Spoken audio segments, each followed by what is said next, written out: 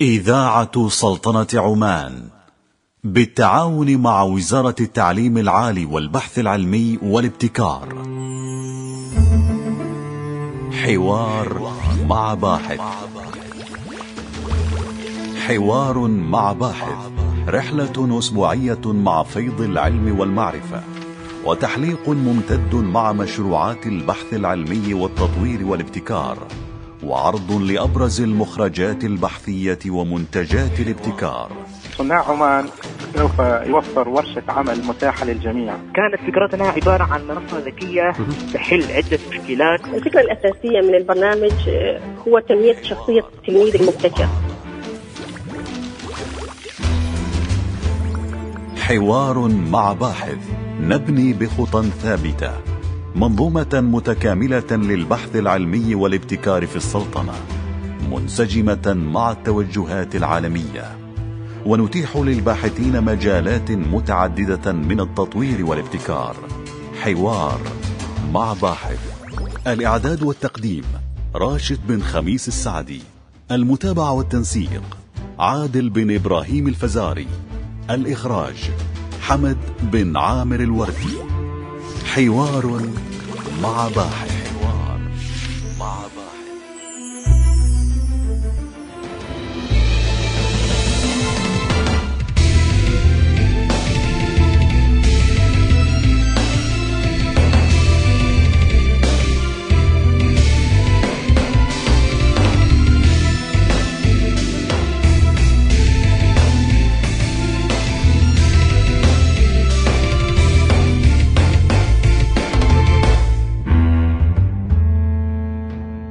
الله الرحمن الرحيم. السلام عليكم ورحمة الله وبركاته. أهلا ومرحبا بكم مستمعين الكرام إلى لقاء بحثي علمي متجدد من برنامج حوار مع باحث. كما جرت العادة نقدم لكم مادة علمية بحثية في مجالات المعرفة الواسعة. وفي حلقة هذا الأسبوع نقترب من جانب تاريخي وتحديدا حول النشاط التجاري في مدينة صور خلال النصف الأول من القرن العشرين. فمنذ فترة تاريخية مبكرة جدا ارتبطت مدينة صور بالملاحة البحرية ارتباطا وثيقا. فما سبب هذا الارتباط؟ وما نتائج هذا الارتباط؟ وعلاقات عمان مع مختلف دول العالم عبر مدينة صور في موضوع حلقتنا لهذا الأسبوع من برنامج حوار مع باحث.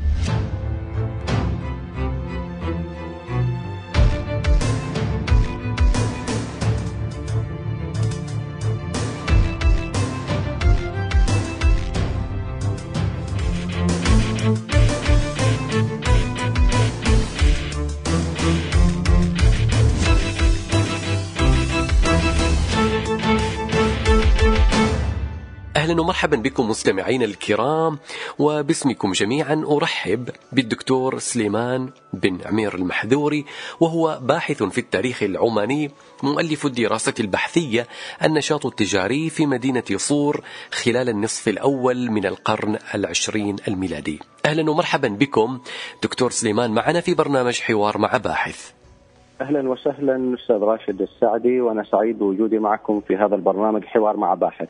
أهلا ومرحبا بكم. دكتور ما الفكرة العامة التي تدور حولها هذه الدراسة البحثية؟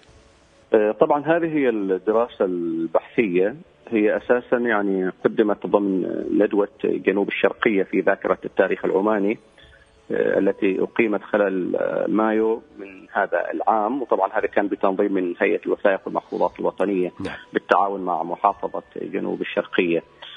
فهذه الدراسة هي يعني هدفت إلى يعني تتبع النشاط التجاري في مدينة صور خلال النصف الأول من القرن العشرين وأيضا يعني مدى تأثره بالظروف السياسية والاقتصادية آه، العالمية في تلك الفترة وأيضا يعني استعراض أهم السلع الصادرات والواردات آه، وكذلك أيضا معرفة أهم الطرق التجارية التي يعني اتبعتها السفن الصورية في رحلاتها الطويلة نعم. إلى جانب التعرف على أنواع السفن المستخدمة في تلك الفترة.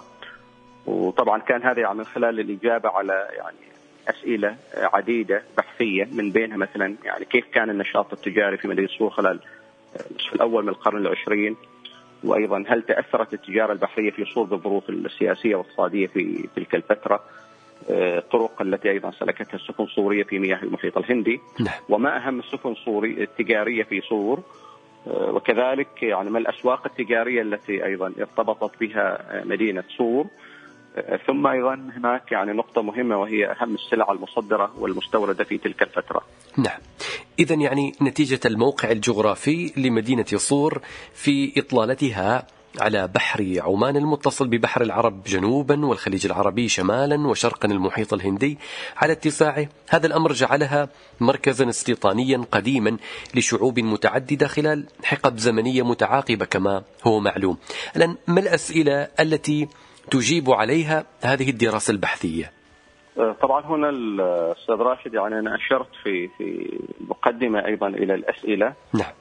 التي يعني تهدف إليها الورقة.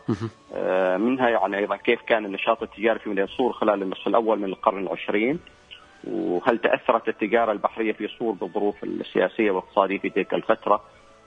أيضا الطرق التي سلكتها السفن الصوريه في مياه المحيط الهندي. نعم. وما أهم السفن التجارية في صور وما الأسواق التجارية التي أيضا ارتبطت بها المدينة إلى جانب ما أهم السلع المصدرة والمستوردة في تلك الفترة.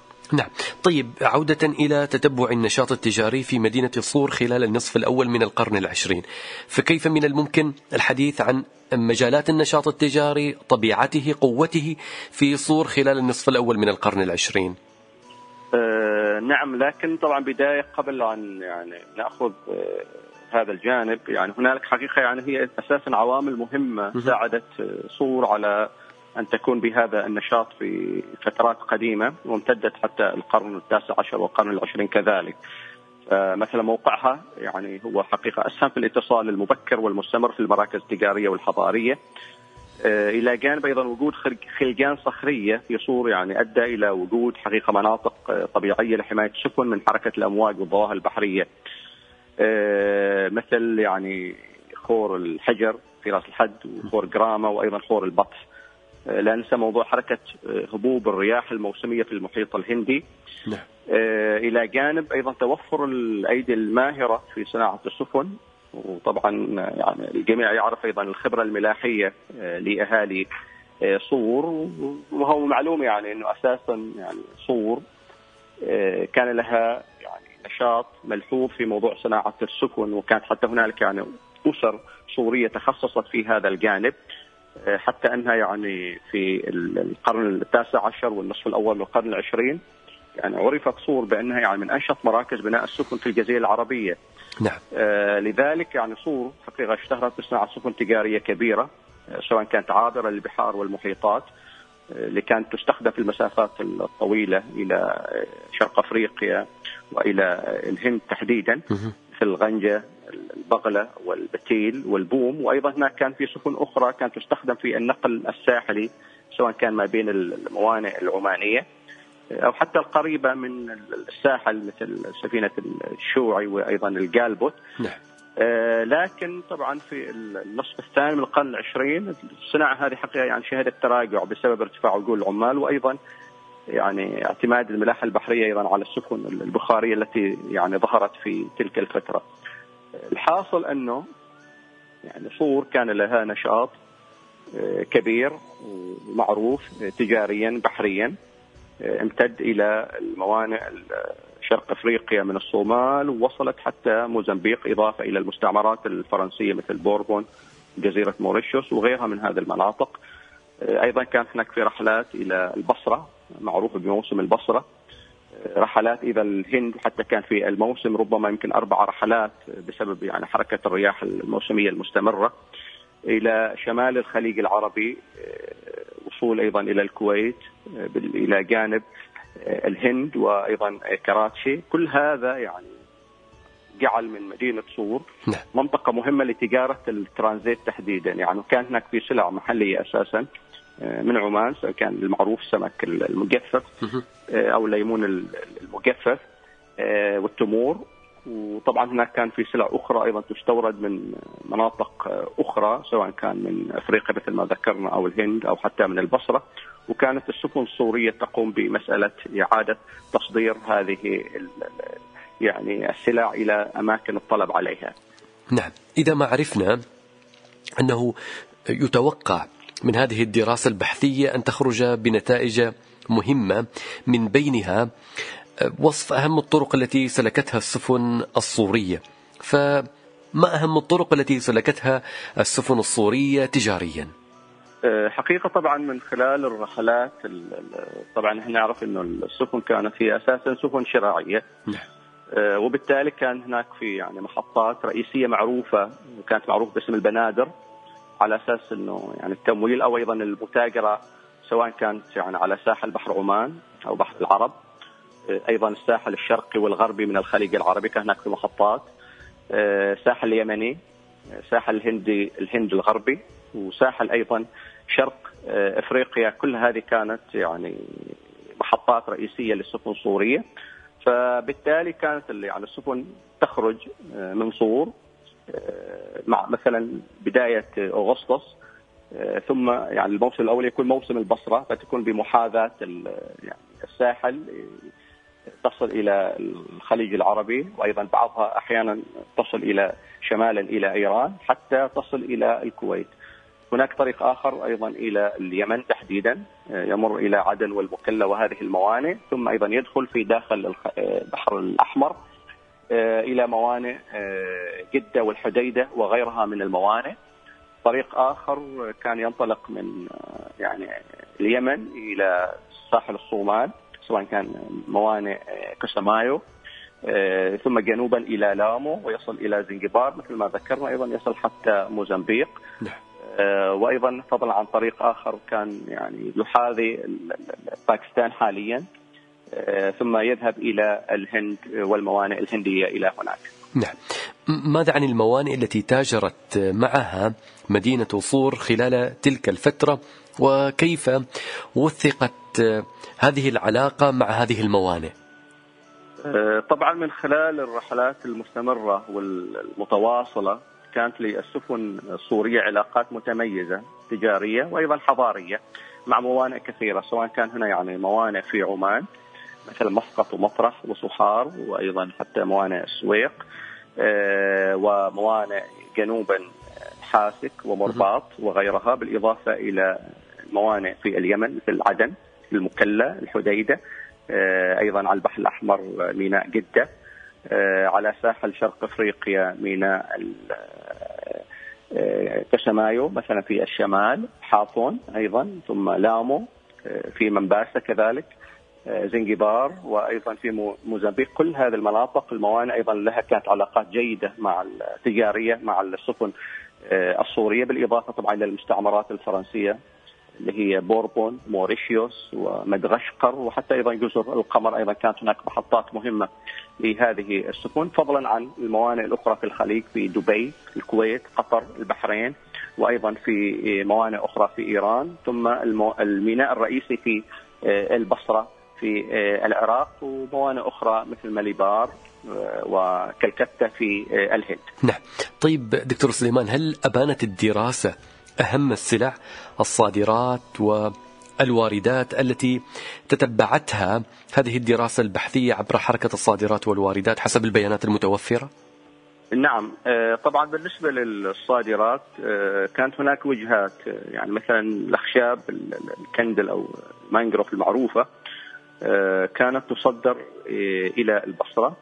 هناك أيضا أخشاب الطهي الموجودة في عمان مثل السمر والغاف. آه، أيضا آه، تصدر كان إلى الهند السمك المجفف البسور تمور الخيول أيضا. إلى شرق أفريقيا كانت السفن تصدر هنالك السمك المجفف الملح آه، أيضا الأقمشة. هنالك أيضا التمور إلى اليمن وأيضا زيت الأسماك. بالإضافة إلى الواردات التي كانت ترد مثلا من العراق. طبعا تمور بأنواعها العسل. من إيران كان هناك آه، غاز الكيروسين والزبيب والجوز واللوز. وأيضا من الهند كان الأرز طبعا كسلعة رئيسية بالإضافة إلى الأقمشة. السكر والشاي والملابس. وأيضا هناك كان القرميد الأحمر الذي كان سفن سورية تصدر هذه السلع مباشرة من الهند إلى شرق أفريقيا لأماكن الطلب عليها هناك. نعم.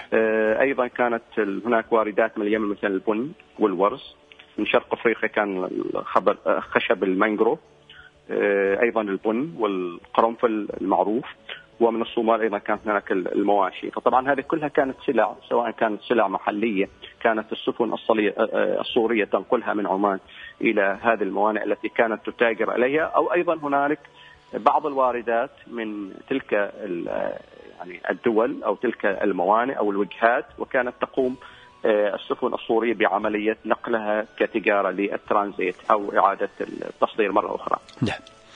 أنا أشكرك على هذه الدقائق التاريخية المهمة في برنامج حوار مع باحث والتي تناولت من خلالها النشاط التجاري في مدينة صور خلال النصف الأول من القرن العشرين. الباحث في التاريخ العماني الدكتور سليمان بن عمير المحذوري شكرا جزيلا لك. شكرا لكم.